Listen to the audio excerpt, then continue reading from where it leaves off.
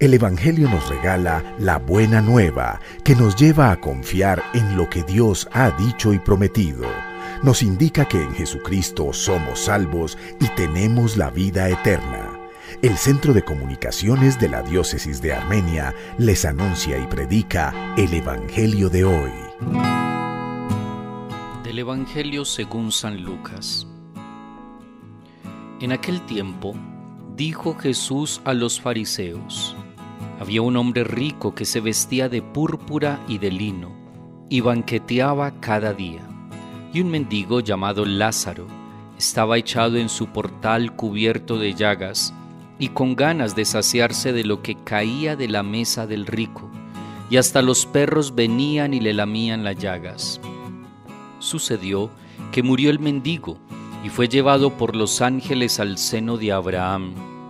Murió también el rico y fue enterrado y estando en el infierno en medio de los tormentos, levantó los ojos y vio de lejos a Abraham y a Lázaro en su seno, y gritando dijo, Padre Abraham, ten piedad de mí, y manda a Lázaro que moje en agua la punta del dedo y me refresque la lengua, porque me torturan estas llamas.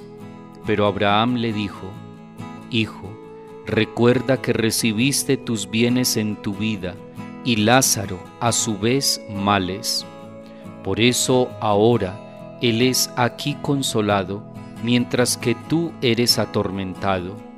Y además, entre nosotros y ustedes se abre un abismo inmenso, para que los que quieran cruzar desde aquí hacia ustedes no puedan hacerlo, ni tampoco pasar de aquí hasta nosotros.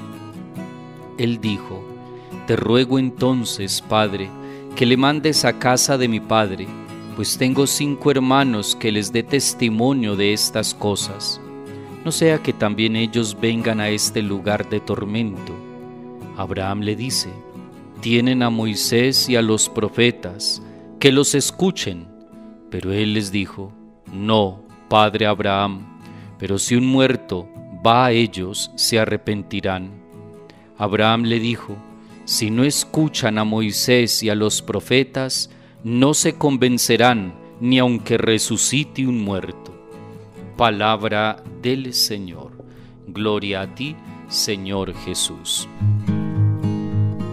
Lázaro y Epulón, dos personajes antagónicos, dos vidas, circunstancias, corazones diferentes, uno con dinero, amigo y los medios necesarios para no privarse de nada. Frente a él, un pobre que carece de todo, marginado, sin amigos, sin pan, y que se quedaría satisfecho con las obras que retiraban de la mesa del rico, pero nadie se las daba. El rico de la parábola no maldice a Dios ni explota al pobre.